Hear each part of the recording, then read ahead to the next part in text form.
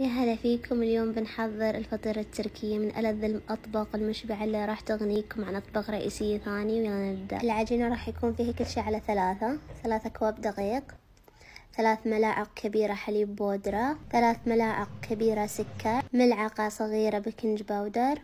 ملعقة كبيرة خميرة فورية. ثلاث ملاعق كبيرة زيت. ثلاث ملاعق كبيرة زبادي. كوب ماي دافي ونعجن بعدها نغطيها بالبلاستيك وبعد البلاستيك نضع القماش مهم.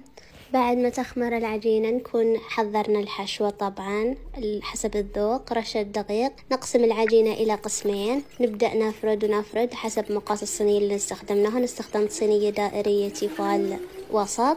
بديت أفردها. نطلعها على الأطراف عشان وقت الإغلاق يكون سهل. هنا نضيف أي حشوة لحم مفروم حشوة دجاج براحتكم حسب ذوقكم. بعدها نضيف آه، شوية من جبن الموزاريلا بعدها نتجه للجزء الثاني من العجينة. نفرد قد ما نقدر عشان يكون أكبر من حجم القالب. نستمر في الفرد. بعدها نبدأ نضع نغطي فيه ونبدأ الإغلاق. عشان كذا أنا قلت لكم نرفع العجين الأطراف عشان يسهل لنا عملية الإغلاق. طبعا التشكيل من فوق حسب ذوقكم.